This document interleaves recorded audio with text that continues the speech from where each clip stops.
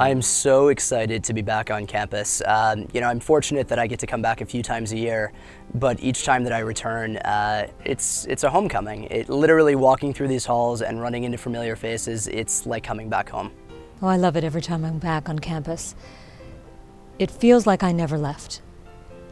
When you come here, you meet the most amazing students, the most amazing professors from the field, and they care and they want to do the things that we were so passionate about.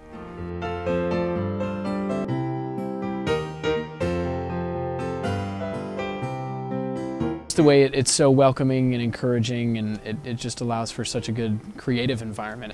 There's just so much to do, there's so much experience that you can gain, so many amazing people to meet and, and learn from and like open up your mind and your experiences. Um, gosh, there's just, there's just so much. I think Emerson is just a really great place. I love seeing the students and, and, what everyone's doing now because it feels like all of the stuff that I would have done however many years ago that I was in school.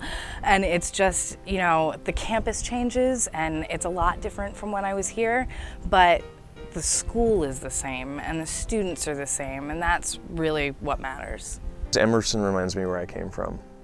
And that's the most important thing for me is because I, I can trace a direct line from the stuff that I did at this college to what I'm doing now. And it helps keep me grounded and it helps me be able to give back to other people.